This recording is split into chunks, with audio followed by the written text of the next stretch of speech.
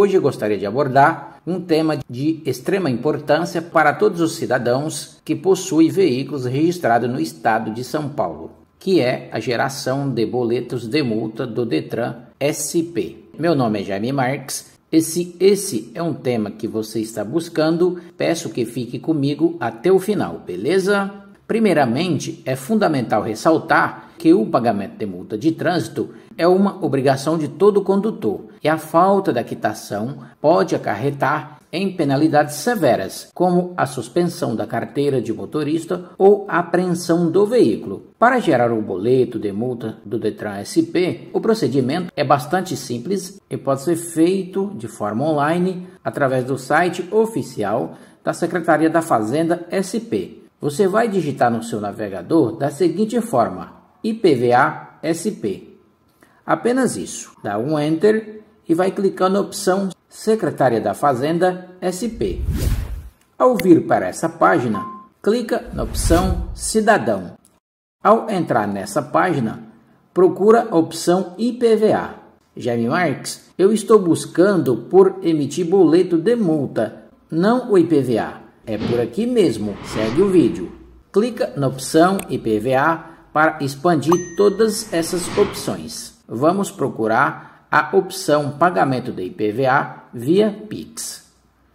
Não sai do vídeo porque é muito importante você ler essa informação que a Secretaria da Fazenda SP fixou aqui. Qual é essa mensagem? Leia o que está escrito nessa informação à esquerda para certificar que seu pagamento vai para o destino certo. Eu, Jaime Marques, já paguei a quarta parcela do meu IPVA e nunca tive problemas. Ao chegar nesta página, fique atento a essas informações à esquerda, que diz assim: ao ler o QR Code com o aplicativo de banco ou instituição de pagamento, aparecerá a informação de que o pagamento é destinado à Secretaria da Fazenda e Planejamento sob o CNPJ tal tal e em conta do Banco do Brasil. Caso o destinatário do QR Code esteja diferente, não faça o Pix. Então fique atento a essa informação, ok? Se se sentir seguro das informações obtidas, para prosseguir, será obrigatório entrar com sua conta GovBR e senha.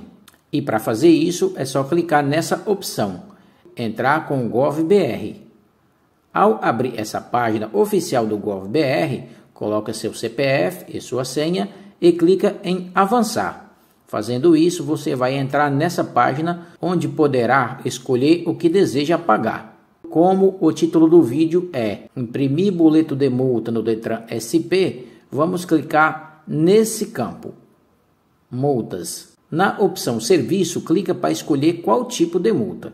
Eu vou escolher multa de trânsito. Como eu já sei que esse veículo não possui multa e o vídeo é apenas para mostrar como emitir boleto de multa ou ter acesso a outros débitos vinculados ao veículo, vou inserir placa e Renavan apenas para demonstração.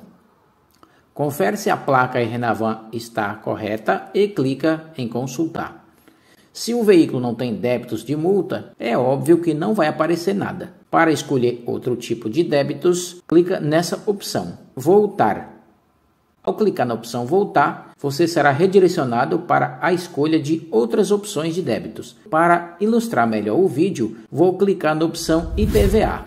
Coloca a placa e renova novamente e clica em Consultar. Quando clicar em consultar, se tiver débitos relacionados à sua busca, já vai aparecer os valores e alguns dados do proprietário aqui à esquerda. Novamente, a mensagem de aviso à esquerda para onde será destinado o pagamento. Estando de acordo, é só escolher o débito, marcando esse círculo de escolha e clicando na opção Pagar via Pix. É importante ressaltar que o prazo para o pagamento de multa é determinado no próprio documento e o não cumprimento deste prazo pode acarretar em juros e outras penalidades. Além disso, é fundamental ressaltar a importância de manter a documentação do veículo em dia, evitando transtorno e prejuízos futuros. Como vocês perceberam, a geração do boleto de multa do Detran SP é um procedimento simples e rápido que deve ser realizado com responsabilidade e comprometimento. Não deixe para a última hora evite transtornos e mantenha a sua situação regularizada perante as leis de trânsito. Me coloco à disposição para esclarecer eventuais dúvidas, se porventura vier ter. Espero que o vídeo tenha ajudado vocês. Se gostou, deixa o like. Se possível, inscreva-se no canal. Grande abraço de Jaime Marques e até a próxima.